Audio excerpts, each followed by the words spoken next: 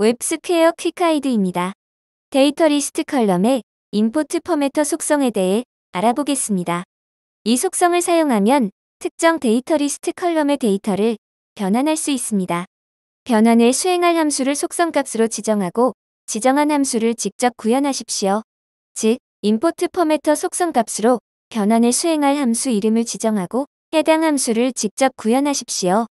전체 데이터와 행 인덱스, 그리고 column 인덱스를 파라미터로 받은 후 status column의 데이터 중 첫 번째 글자만 반환하는 예제입니다. 예제를 통해 확인해 보겠습니다. gridView입니다. 첫 번째 status column에는 single, divorced 혹은 married 중 한 개가 표시됩니다. 브라우저에서 디버깅 메뉴를 통해 gridView와 binding된 dataList를 확인해 보겠습니다. 첫 번째 column의 실제 데이터 역시 single, divorced 혹은 married 중 하나입니다. 아웃라인의 Head 탭을 선택합니다. 데이터 리스트를 선택하고 GridView의 첫 번째 column과 binding된 데이터 리스트 column을 선택합니다. property 탭에서 importFormatter 속성을 검색한 후 해당 속성 값을 scwin statusFormatter로 지정하십시오.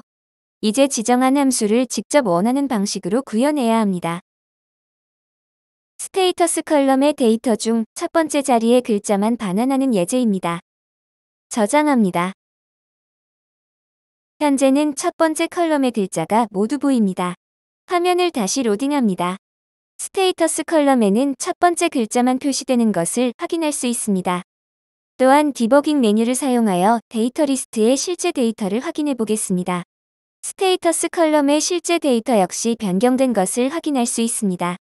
웹스퀘어 퀵 가이드를 시청해 주셔서 감사합니다.